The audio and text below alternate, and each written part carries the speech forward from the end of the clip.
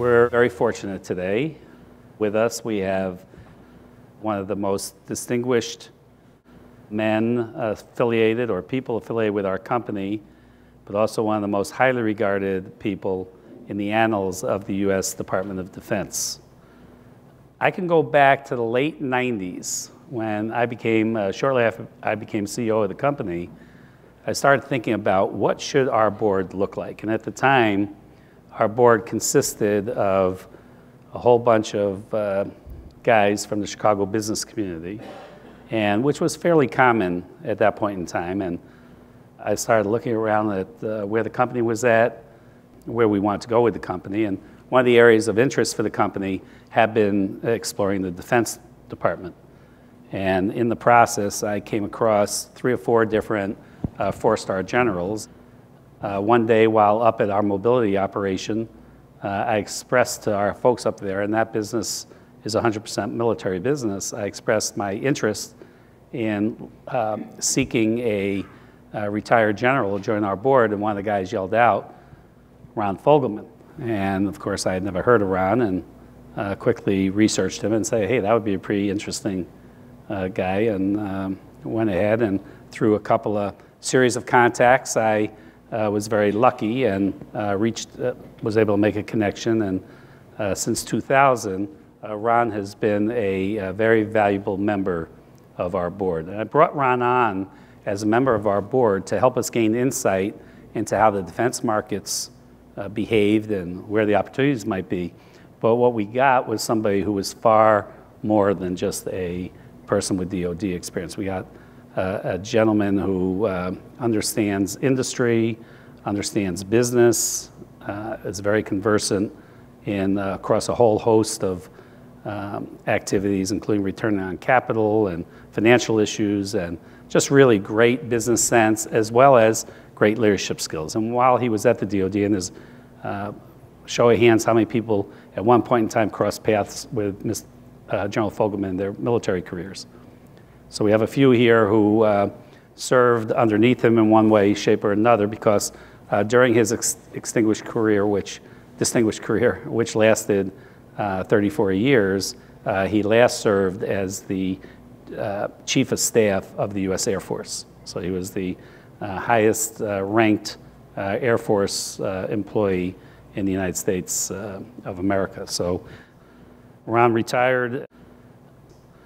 On his final tour of duty, as I said, he served as the 15th Chief of Staff of the U.S. Air Force and a member of the Joint Chief of Staff. And from 92 to 94, he was Commander-in-Chief of U.S. Trans Transportation Command, which we refer to as TRANSCOM.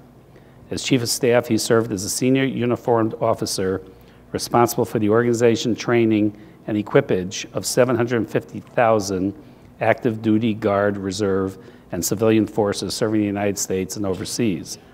As a member of the Joint Chief of Staff, he served as a military advisor to the Secretary of Defense, the National Security Council, and the President of the United States. Uh, so we, I consider myself very fortunate, and we should consider ourselves very uh, lucky to have Ron Fogleman with us here today. This is the second part of a series of um, uh, having an opportunity to introduce our board members to our employee base, our employee base to our board members. Uh, back in April, uh, Cheryl arranged for Jennifer Vogel, our uh, most recently uh, elected uh, board member, to share her thoughts on leadership and business and women in business and so on. And I thought what we would do today is ask uh, General Fogleman to share with us his thoughts on leadership and um, how he uh, achieved what he achieved, how he was able to successfully motivate 750,000 people and get them to work together towards a common goal. And I'm hopeful that one of your takeaways, uh, you know, you can leave here maybe learning a thing or two and gaining a pearl of wisdom in terms of how to go ahead and apply some of what he's experienced into your uh, daily routine. And uh, I will ask uh, the general make a couple of opening comments and then We'll follow it up with a Q&A. I have a few questions I'll ask them, and then we can open up to the floor for questions as well. So if I may, General Fogleman, it's a pleasure. Well, thank you. Thank you, David. Um, the first thing I would say about uh, the biography and uh, the one thing you have to remember is the, the beginning of that first Star Wars movie. Remember how the script was unfolding and it said, long ago and far away in another galaxy. So, okay, I, I don't live in that galaxy. I live today. But uh, what I learned when I was in that galaxy is uh, a little bit about leadership. And the first thing I learned was that um, anybody can be a leader. By my definition, leaders are people who make things happen hopefully good things, but they are people who step out. You do not need rank on your shoulders, you don't need a position title. Remember that down in your organizations, you will find people who are leaders, and, and you yourself. Leaders are people who make things happen. Now, if you happen to have rank or you happen to have position in an organization, then leadership is mandatory. It's mandatory. And, and so, what do leaders do? How do they go about this? And, uh, you know, my, I, I think they, they have a responsibility to do a couple of things. One, they provide vision, they provide vision for the organization. They develop goals uh, for the organization. And I discovered that when you do that, sometimes you get a lot more success if the organizational goals are somewhat aligned with the individual goals or the goals of the individuals within the organization. And uh, we can talk a little bit more about that if, if you'd like some clarification. Third thing, leaders must execute. I discovered in the United States military that the troops will forgive just about anything in a leader except a failure to lead a failure to execute, because that's, that's why you have the position. And then finally, I think the greatest responsibility for a leader is to grow the next generation of leaders. They've got to work on that, got to nurture it, it's got to be an objective right up front. So, the vision, if you. Uh, in a vision, this is where you really sort of give the goals and state the expectations for the organization. What you personally want out of your leaders, your managers, whoever they are. And in the United States Air Force, we developed, uh, to help do that, a set of what we called core values. These are the things that we wanted our people to understand. Um, when I became the chief, the Air Force had seven core values. I couldn't recite any of them.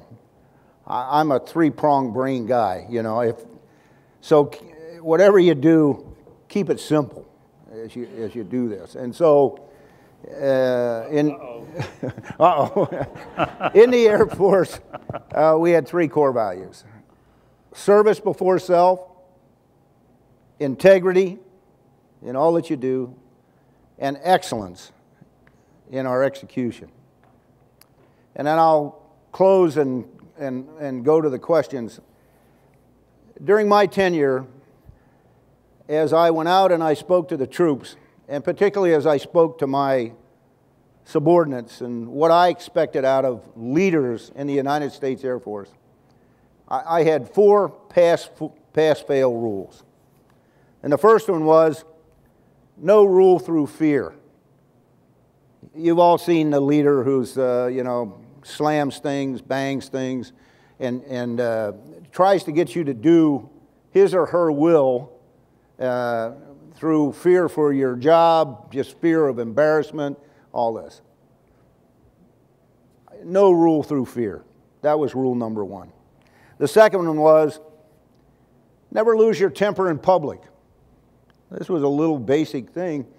And my philosophy on that, my thought process was hey, if you can't control yourself and you don't have control over your emotions, et cetera, in public, how can I entrust an organization to you to control? So you have to have a little self discipline, if you will. Uh, the third was zero toleration. zero toleration for harassment or discrimination or prejudice based on race, religion, ethics, age, anything. This was a rule, from my perspective, not because it was the law of the land, but because it made sense from a mission accomplishment standpoint.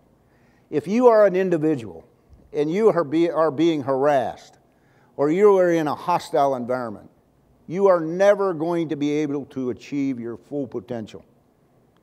And you get manpower based on X number of bodies to do whatever the job is. And if some leader takes one or two of those people out of, out of productive work by beating them down and harassing them, you're undercutting the whole organization. That's the philosophy behind that. And finally, my last one was you know, you just try to demonstrate, and I'm, I'm, I'm not a Pollyannish guy. Um, when it comes time to get into heaven, there may be some real tough negotiations. but the fact of the matter is, where, when it comes to your organization and your people, you really do have to sort of lead a life, if you will, that's based on integrity, on trust, and on loyalty. And loyalty up the chain to the people above you, which is generally pretty easy to do, but loyalty down the chain so that your troops know that if somebody above them is, is beating up on them because of something that they think they did or didn't do, you've got an obligation to stand up and say, Sir, let me tell you, this is, this is what my troops have done. So, those are some basic rules of the road. I'll stop now. And uh, David, over sure. to you and or whoever. Let, let me start, if I may. Uh, Ron, how did you hone your leadership skills and how much thought went into developing your leadership skills? Well, I used to tell people I did it one day at a time with one experience at a time. You know, as a youngster, I was a fighter pilot. I led a pretty carefree life. But even there, I was observing the leadership. And there were some folks that I looked at and said, I don't want to ever, ever be like that person. And there were others that I said, that's a pretty cool individual. And, and they're cool because ding, ding, ding, and ding. So I'd like to emulate that. So, so there was uh, one day at a time. But there was another way. I'm, I'm not an engineer, I'm, I'm a historian. And in understanding military leadership, one of the things that I found to be extremely valuable was I read biographies, a lot of biographies of military leaders through the years. And um, by reading those biographies, you, you could sort of uh, benefit from the mistakes and the, uh, and the good actions of people who went before you. Now, um, I believe that leaders can be developed, that you can train people, you can give them skill sets. But I'm question, I question some of these books that are out there. You know, I mean, I I used to buy all these little books, uh, you know, uh, Lincoln's Words on Leadership, uh, Genghis Khan's Seven Approaches to Diplomacy, you know, those kinds of things. Uh, and uh, some of them were pretty good and some not so good. But, uh, but I, I learned a lot from reading biographies. Very good. When, when you think about leadership, of course, you need to think about motivation. How do you motivate a team? What goes through your mind when you think about getting a team excited about performing a mission and accomplishing a mission? Well, uh, I think one of the keys to motivation is, uh, is communications. And you, before you can motivate somebody to do something, I think they have to understand why you know, what's the, where does it fit within the larger scheme of things? Why is it important? And, uh, and so, to me, uh, motivation had, a, this goes back to the four uh, points of leadership. It, it had a lot to do with, with making sure that the, that the folks knew what you were going to ask them to do was important and um, how much time you had to do it, what the resources were, and, uh, and, and what, the, uh, what the consequences of success or failure were going to be. And so if you do that, uh, you can, I think, motivate people to, to do. I, people need to believe in something higher than themselves. That's my philosophy. Whether it's uh, in the culture of the AAR or whether it's in the ethos of the U.S. military or what it is. And, and sometimes people get so uh, wrapped up trying to you know, do whatever the task is that they have to be reminded that they're part of a really larger enterprise that's very important. And leaders have to step back and take the time to, to do that, I think. So, Ron, you, you've had success in the uh, uh, military world, you've had success in the commercial world. Uh, so, some would argue that leading in the military world is very different than leading, let's say, in a uh, commercial sense. That uh, the chain of command is different and uh, the need to respond may be different.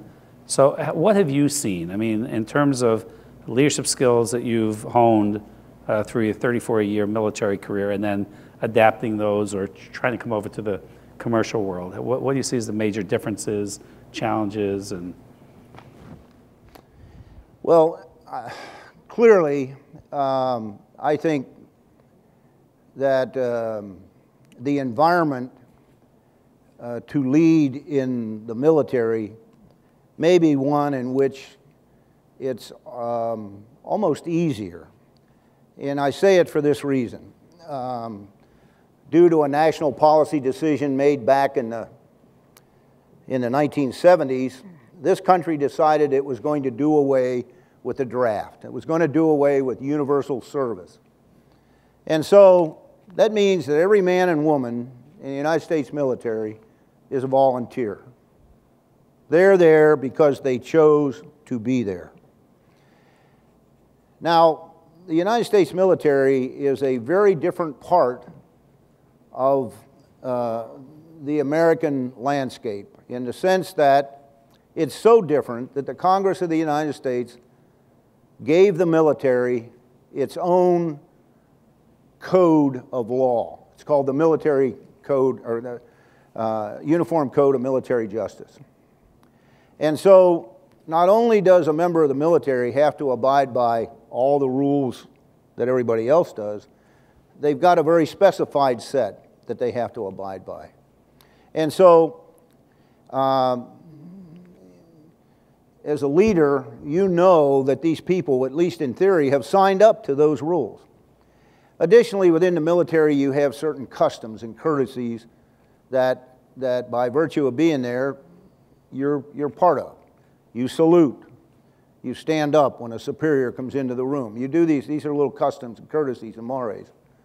And, and so, as a leader in the military, you start with the basic assumption that that individual wants to be there. He or she wants to be there, and they're interested in what, what the purpose of the organization is.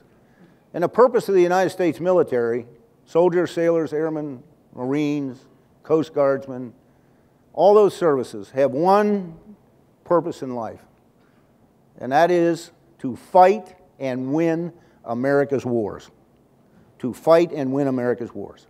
They are not social actions agencies. They are not employment agencies. They exist for one reason. And so, from time to time, we must remind people that is our purpose. We have to remind ourselves and we have to remind others. And so, when you're in that kind of an environment, um, the idea of obeying and following, and it's called good order and discipline. You need that. In the civilian world, it's a little bit different. And so the first thing that a military individual, man or woman, needs to understand about transitioning to the civilian world is it's different. Okay? Now, generally, you are in an organization because you want to be there, but what it takes for you to personally separate from that organization and go somewhere else is a lot less complex than it is in the military, with a lot less uh, dire consequences. And so, if you're going to lead, it's, a, it's, a, uh, it's where you're trying to lead the willing and the knowing. And once you put that into your mind, uh, then you begin, I think, to apply the same rules. And you accept people for being there because they want to achieve what it is that are the goals and objectives. They want to, you're in AAR because I think AAR has a unique culture. And, and you, you come to like that culture. You desire that culture. If you didn't, and somebody else down the road had something that appealed to you more, you would go there. So you have to understand, I think, the basic motivation of folks, and then it's the same thing. You give them vision, you give them goals, you demonstrate um, how you can move forward. I think that's, that's the simple thing, David. I have one last question, then we'll ask uh, folks in the audience to come up with questions. Uh, my, my, last question to you, Ron, would be uh, what, what would you have considered to be your greatest leadership challenge? Hmm. Toughest decision? Leading the board of directors at AAR. Ron is our lead director, so. no. Um, I, I think, first of all, I lived a charmed life. You know, I mean, I, hell, I came out of the hill country in central Pennsylvania. I'm the first kid in my family to go to college. Uh, I joined the military because somebody told me you could retire at 20 years on half pay. Sounded pretty good to me. And then I screwed it up and overshot in a vertical. and, uh, and so, uh, anyway, um, the challenges that go with taking care of the troops when you don't have the resources that you know you need to get the job done. Um, my last three jobs in the military were joint jobs. I was the deputy commander in chief of U.S. forces in Korea, was the commander in chief of the United States Transportation Command, and I was the chief of staff of the Air Force. So I was dealing with people from all the services. And as I would travel around the world, I would ask soldiers, sailors, airmen, Marines, what can we, the leadership in Washington, be doing for you troops out here? And they normally had three answers, three, three elements to their answer. They said, first, sir, don't ask us to leave our families and go into remote places of the world unless the job is important. If it's important, that's, that's good enough for us. The second thing is, while we're gone, take care of our families. Look after our families. Make sure they have decent housing. Make sure that they're looked after. And the third thing was always, you know, if we go do it and we come home, it would really be nice if somebody said thanks. You know, very simple. Came from all of them. And on those occasions where I was in positions where I was trying to take care of the troops or get a job done, where I either uh, could not get the assets that we needed or could not get the support for something we were doing, were for me personally the most challenging in the sense of, of when I felt less fulfilled as a leader and as a greater failure was uh, kind of taking care of the troops. Uh, and that, that involves uh, really kind of understanding where resources come from and how you, you know, how you go get them. You, the, the thing you cannot allow to have happen is you run into a situation like that and you say, well, woe is me.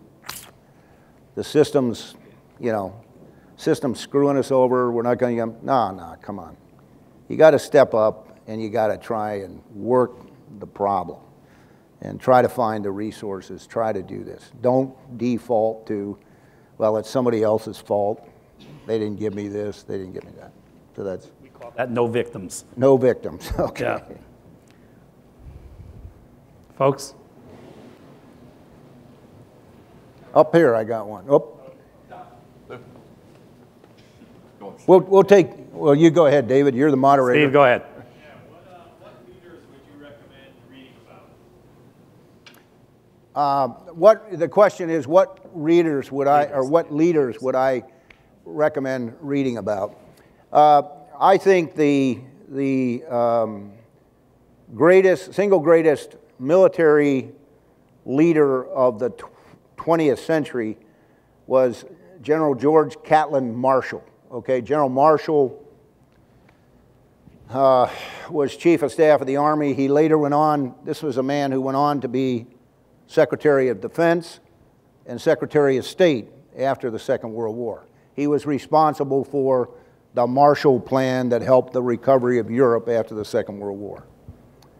Um, so he would be one that I would uh, certainly spend some time reading on. I, I mean, there's a whole, you, you, you um,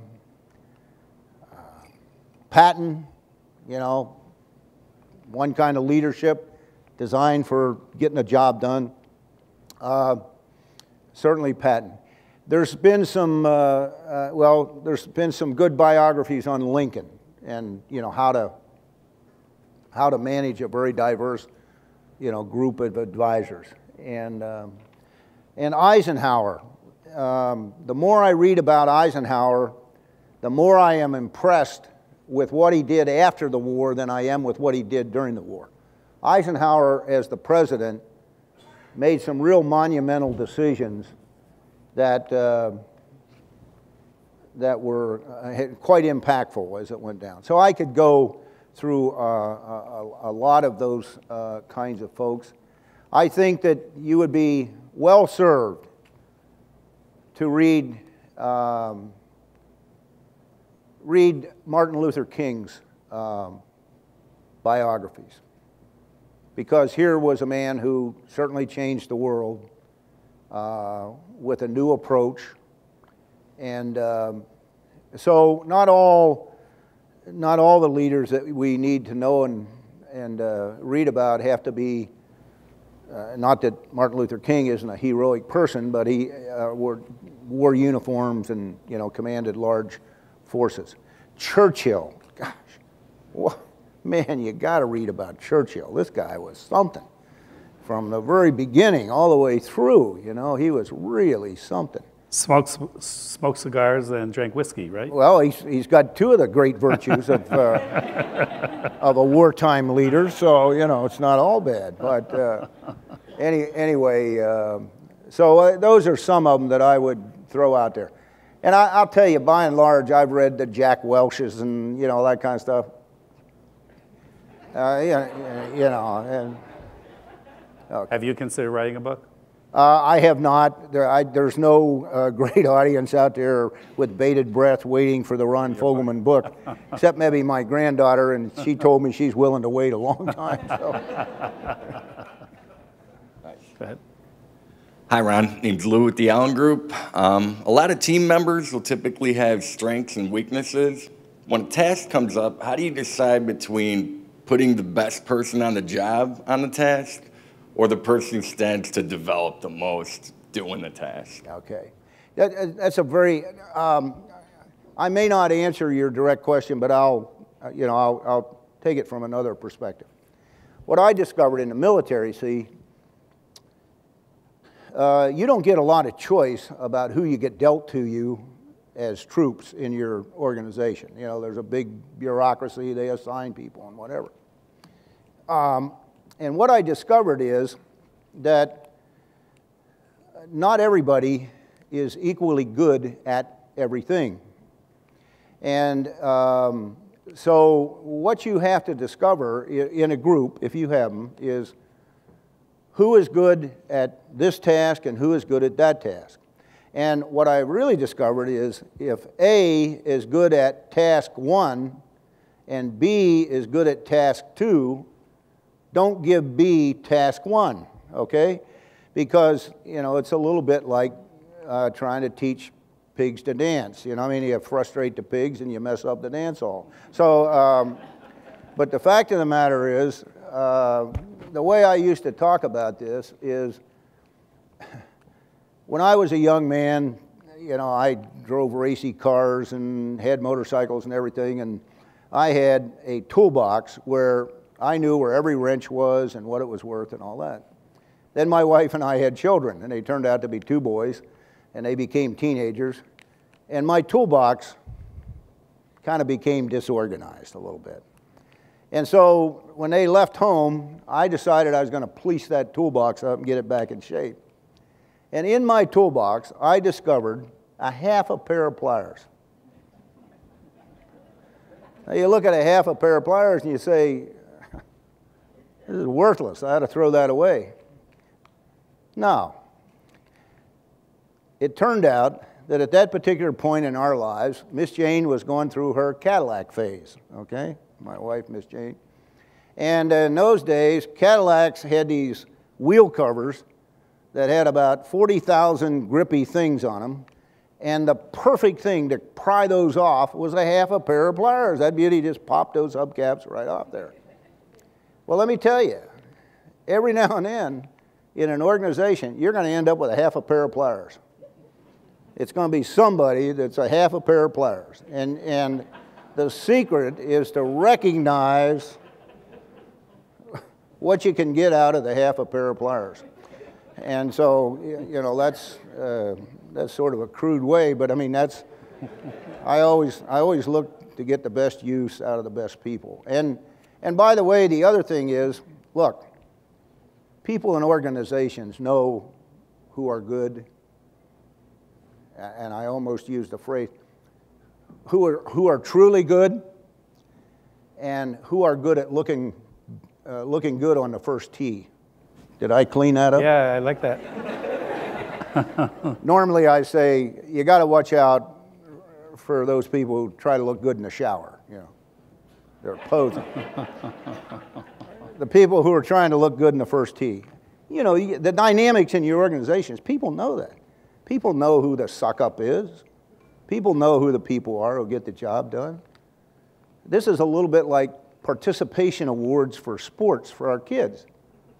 Now, if you got a champion, put the champion forward. But recognize that everybody else has got a role to play too. You know, that's my role, that's my, that's my view. Very good answer. Yes, sir. Do you have a story uh, from your past uh, that truly exemplified leadership that really comes to mind and uh, just pops uh, for you? You mean uh, something I personally did, or? Something that you personally did, or one of your team members had done uh, that really stood out? Um, well, you put me in, you put me in a, a tough situation because I want to tell one of my favorite stories about me, but I, I, I want to also think about. Uh, so I'll tell two stories. How's that? the first story is when I graduated from the United States Air Force Academy and became an officer in the Air Force, I had lived four years within this sort of cloistered life. And, and one of the basic tenets of, uh, of life at the academies is an honor code. And the honor code is very simple. It says, I will not lie, steal, cheat, nor tolerate among us those who do okay? And so I had lived that, and I had watched people fall by the wayside who couldn't live by that. And so I got out into the military, and uh, I was in my first assignment where I was teaching people to fly. And I had this one, and I was a lousy flight instructor. I mean, man, my philosophy was flying's a God given right. And if you can't do it, ain't nothing I can do to help you. So I'm going to. I'm going to ride around with you and let you demonstrate that, you know, you can do this. And if you can't, I'm probably going to throw you out because you shouldn't be here, see? So, and so I didn't graduate a lot of students, but anyway. But this particular kid was a really great pilot.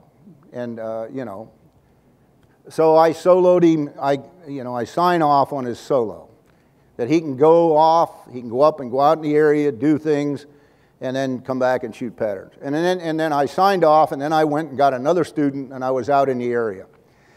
And the worst thing you want to hear is, you know, they come up on guard channel and they say, oh, all aircraft flying out of Vance Air Force Base, return to the pattern. We have an aircraft down, uh, you know, and they're trying to figure out what aircraft it is and who it is. In my heart, as soon as I heard that, I knew it was that kid. And so I beamed back to the field. I get on the field, and uh, it turns out it was that kid. and, uh, and he, uh, he was being flown back to the base in a helicopter. And so I met him when he got off the helicopter. I said, What happened? What happened? And he said, Well, sir, um, I got up there and I did all the things I was supposed to do, and I had some time left over, and I had never flown inverted. And so I wanted to try to fly inverted. And he said, I was flying along inverted and I got in a cloud deck and I got disoriented. And, and you, you, you have told all of us students if you're ever in doubt, that airplane is worth about $65 junk. You punch out, and I'd rather have you alive and the aircraft gone. See, yeah, I've, I've always said that. So so you come out of the cloud deck and you're inverted and uh, you, you punch out and you swing twice and hit the ground, right? Oh no, he said, I, I come out of the cloud deck in the parachute and I could see Oklahoma City and I, man, this is not good. So what happens is the system decides that they're going to throw this kid out of pilot training. And in order to throw him out, I was asked to write a, a, a grade slip that said, this guy had a fear of flying because, you know, if you put down fear of flying, you're gone. And, and I went to my, my boss, who was a many time passed over. In other words, he had, he had failed to be promoted for whatever reason, uh, a captain. And I went to him and I said, Sir, I, I cannot do this. It's not true. It's just the opposite. This kid was an aggressive flyer. And I, I'm sorry, but I, I can't do this. And, and this guy, who probably had one more shot at maybe getting promoted, said, You're absolutely right, Ron, and I will take care of this. And so he stepped in, and that, that showed me something about taking care of your troops. So that was, that to me was true leadership, uh, the selflessness thing. Now, the other thing you look for are opportunities every now and then to break a logjam. So when I was a four star general, and I was commander of the U.S. Transportation Command, we were trying to bring on this new airplane. It was called the C 17.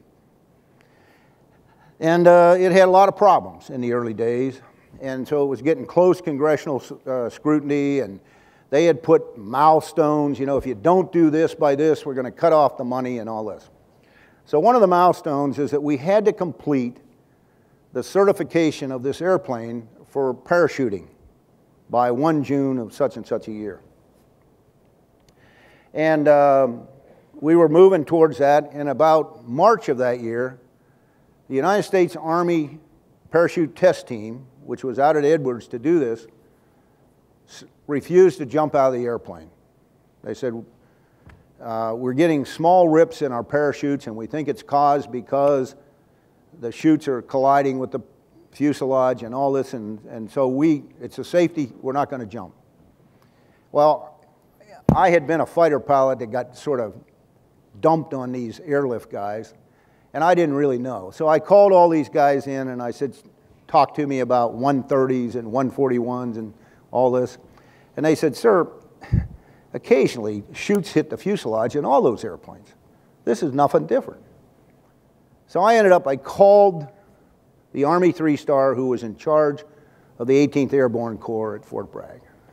He later became chairman of the Joint Chiefs. I said, You, you know, there's nothing wrong with this. And if these guys don't jump, we're not going to, you know, we're going to seriously jeopardize the whole program. Because people were starting to come up, as you all know, they come up with these wonderful ideas. Well, maybe if we put a hydraulic door that comes out, that'll fix it. You know, well, you only have to basically redesign the airplane to do that, but hell, what, you know, maybe we can do that. So anyway, eh, there's all this.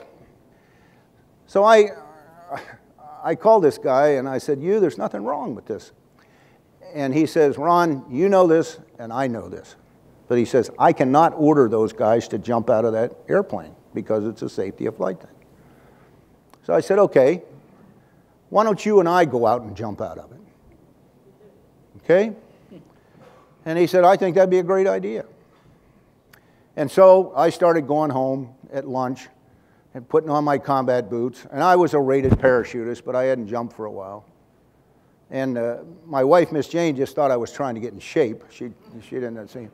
Until the day came for me to go down to Fort Bragg because I had to go down there and I had to get recurrent uh, in jumping. And so I couldn't find my dog tags, which the Army had that as a stipulation. You had to wear dog tags, you couldn't jump out of an airplane. So I'm running around the house grousing about my dog tags, and finally Miss Jane says, Why do you want your dog tags? I said, I just need them. And she said, You're going to go jump. And I said, Yeah, that's true. And uh, so anyway, I got my dog tags, I go off, and it was a great experience. You know, first thing happens, I get down there, they issue me one of these ramrod straight master sergeant, jump this, jump that, baseball cap just right. And you can tell he is not shot in the backside about screwing around with this four star general, you know. But anyway, we go through all that. I get recurrent. I go out and we jump. And when we jumped at Edwards, I went out the right door, he went out the back door, and we, we had the whole Army parachute test team behind us. We got on the ground. General Shelton called them together and said, hey, look, this chute thing is not being caused by the C-17. We're seeing it. We changed manufacturers, and, and you know, we just have some def, you know, little defects. It's happening. That was the end of it. But that was a case where, you know, you can't order people to do something you're not willing to do yourself. So anyway. Very good.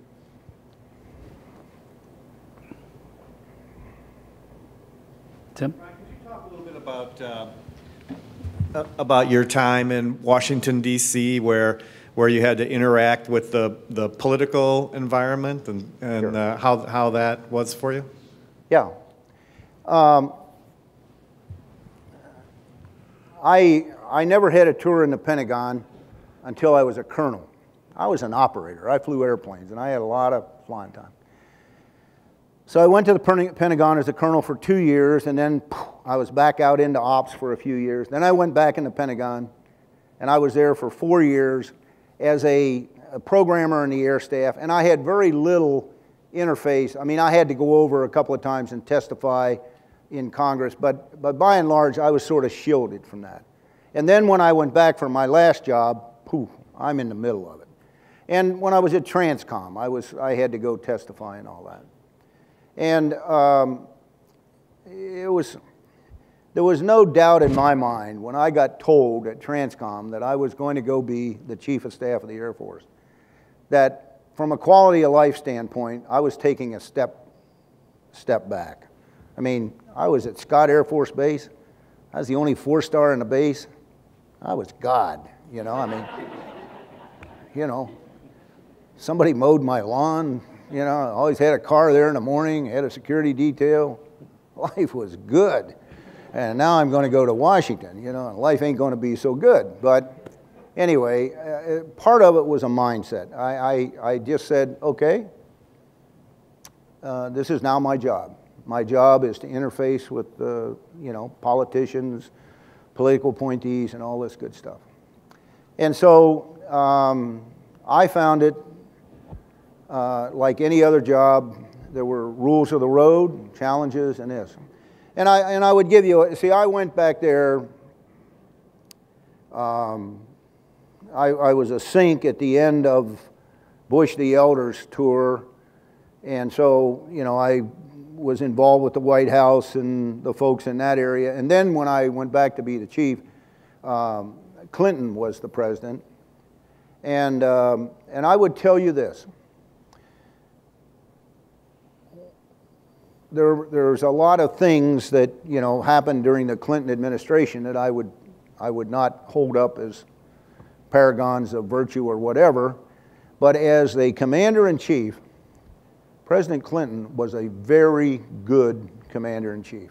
Never served in the military, but when we would go into uh, the tank or we would go over to the White House for a meeting, he always showed up very well informed. He asked really good questions. And in the main, uh, he took military advice. And so if we didn't like the way things turned out, all we had to do was look in the mirror. Uh, relations with the Hill um, uh, were, I thought, uh, it, there's an art to that. But, um, but, you know, in those days, and this was, you know, almost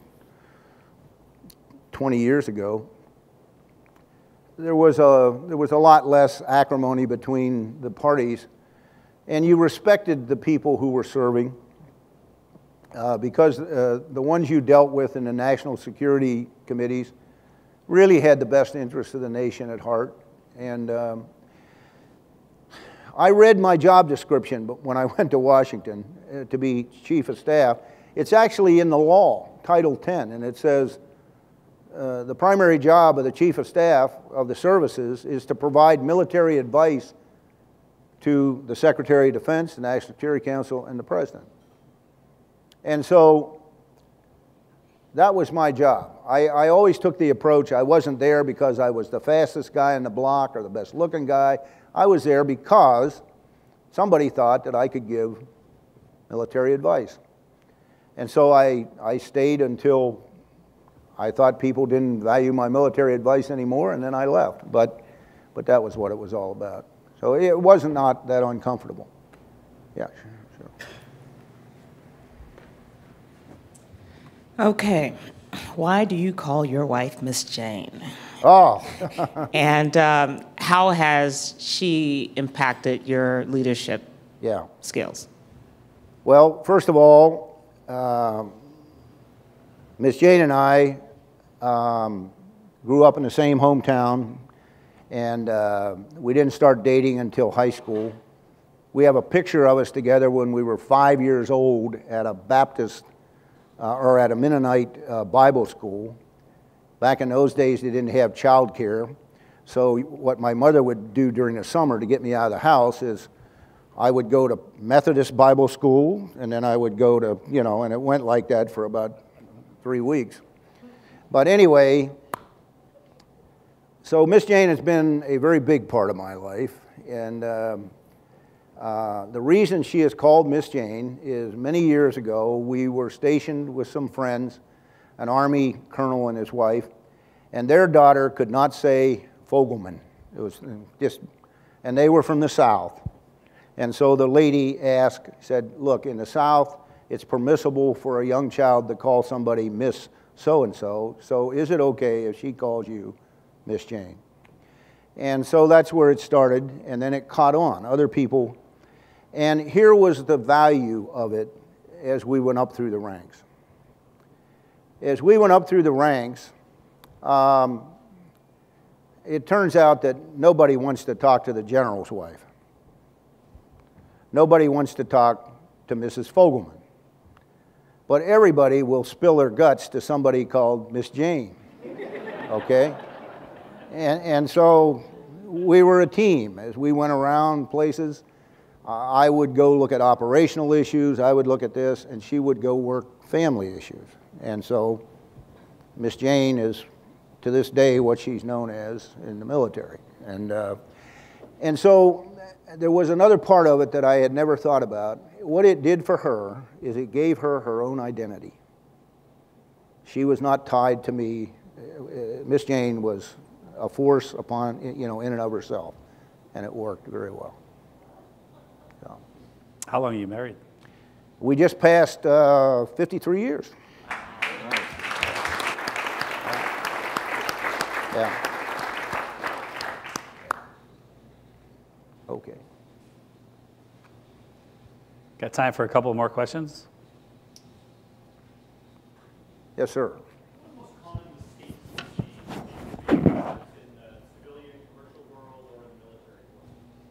Okay, the question is what is the most common mistake that you see leaders make, um, whether it's in the commercial world or uh, uh, in the civilian or in the military? I, I think, I, I, don't know if I would call this a common mistake, but uh, uh the thing that causes more difficulty, I think, for leaders in both places is uh, either an inability or a failure to communicate whether it's articulating what the vision is or the goals or whatever, or it's just sitting down and giving mission task orders. Our mission today is to take that hill, and we can't do this, but we can do that. It's, I'm sure it's the same in business. You've seen it. Uh, you know, somebody comes in and says, well, they want us to do such and such, and they don't say, and they want us to do it by 8 o'clock yesterday, you know, sort of thing. I mean, it's, so communications, I think, um, I used to tell people, you know, when you're, when you're chief of staff of the Air Force, uh, there's a body of 750,000 people out there that are supposedly, you know, in one way or fashion, you're responsible for. And every now and then, uh, somebody will do something really, really, really stupid. And, and uh, it embarrasses the service, it, whatever. And the way I used to handle that is I used to remind myself that nobody, nobody in that 750,000 people got up that morning and said, How can I screw up Fogleman's life today? they, something happened, whether it was miscommunication or something, and they did something and they screwed up Fogleman's life that day. But they weren't, they didn't start out to do it. And, and so you have to remember that in the context of how you deal with people, but it's also uh, communication, very important. Ron, you've been on the AAR board now for 16 years. Yeah. You're our longest serving outside board member. What do you, how do you, when you look, when you think about AAR, when you leave today after spending a couple of days, what, what do you see as our strengths and what do you see as our weaknesses? What comes well, to mind? Yeah.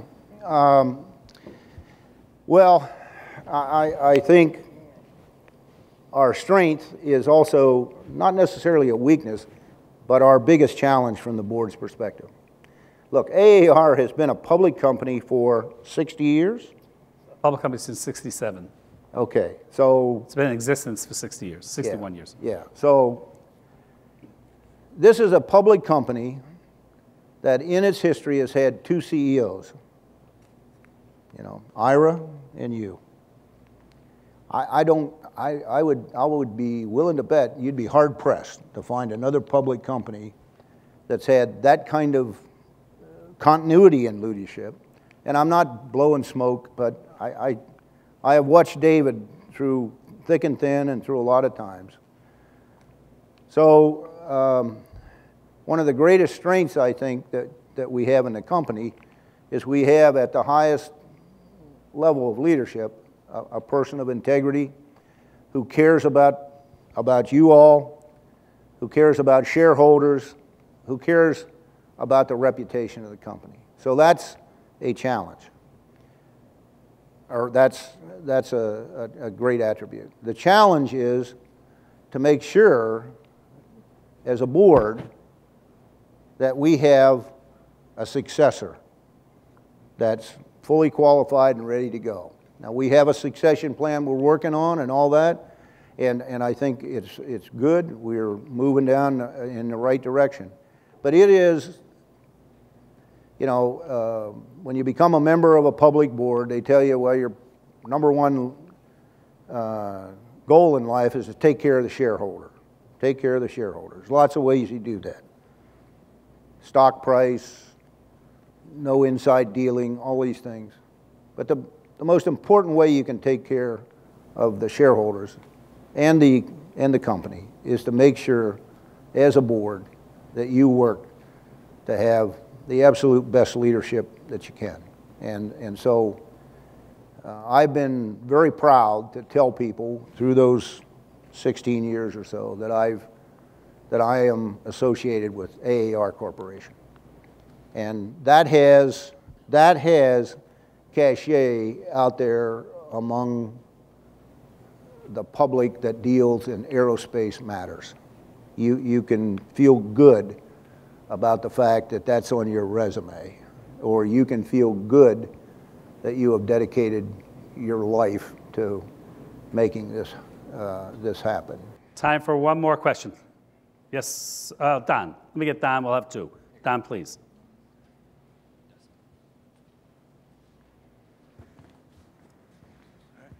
Mine- David, mine's more of a comment Okay. for the group here. Um, This probably goes back to the suck-up comment you made earlier, but I've, I've known uh, General Fogleman since 1970 when I took history from him at the Air Force Academy, Uh, and we've crossed paths many times. I, want the people at AAR to understand how fortunate we are to have board members of this caliber uh, at AAR Corporation. Um, I've known every Air Force Chief of Staff in a personal sense. I mean, I either worked for him or whatever for the last 25 years. So I've known every, every chief during that time frame.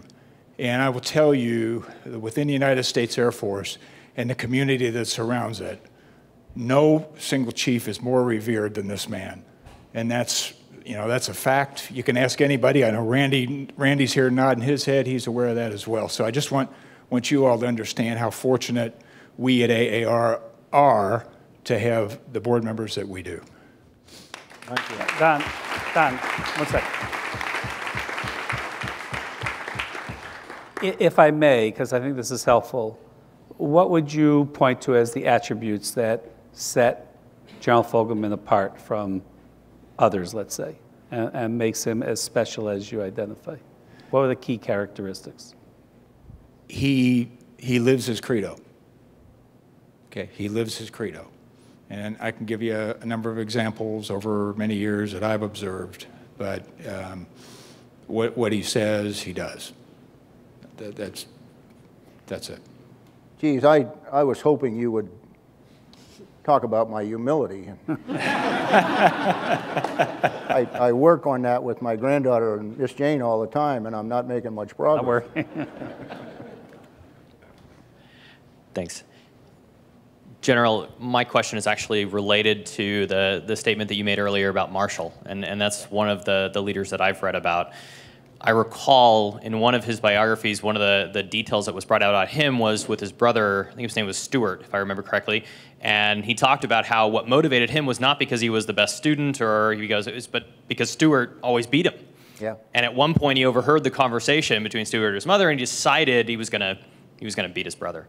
Um, as we look at what we have from a leadership perspective with David, what we've seen with the contributions of Mike and, and others, as leaders and, and as expectations are set for us, what do you see as those motivational characteristics that you would like us to take within AAR and really espouse to our teams to build that next generation? Is it that it's not that there that we, we can't do it kind of things, or are there are there other aspects that in your experience are truly motivational for the people around us? Yeah. I, you know, I would almost go back um, to the Air Force uh, core values in a sense. Um, particularly when I talk about uh, or think about integrity and excellence. Um, look, this company is involved in the aerospace business. The parts that you catalog and deliver uh, to a, an airline.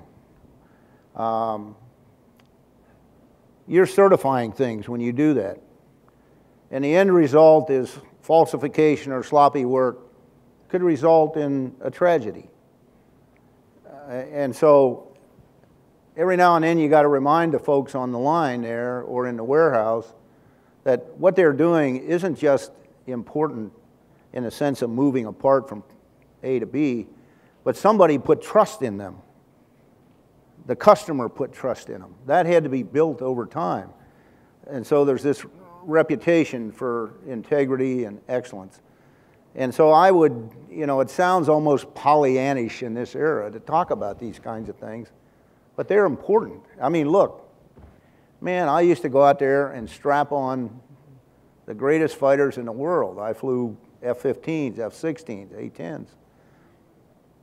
And, and my life depended upon that crew chief who handed me the forms to review, and I got on that airplane and I was going to go fly. So um, you got to think about it in, that larger context, if you will. The other thing, and, and I, I trust that you won't be faced with this often, but once or twice in your life, you're going to face a situation where you're going to have, to, you know, your option might be, well, I could lie about this, I could fudge about it, or I can just tell the truth and get on with it and take the consequences. When George Marshall was uh, coming up through the ranks as a colonel at the end of the First World War and during the 1920s and 30s when, you know, uh, he, would, he would take note. If he were somewhere at an exercise or something, he had a little black book, and he would write in that book something about the people he had observed that day. And so when the Second World War came, and we did this great mobilization, he had friends that were serving generals that he told had to go home because they weren't up to the challenge of the new era. It was, in some ways, his challenge of the millennials, okay? Only they weren't millennials, if you will. And so somebody asked him one time, in that book, when you write down attributes of future leaders, what's the number one attribute that you put in there? What is the number one thing you're looking for? And he said, courage. Not valor on a battlefield, but the courage to do what is right when you are challenged.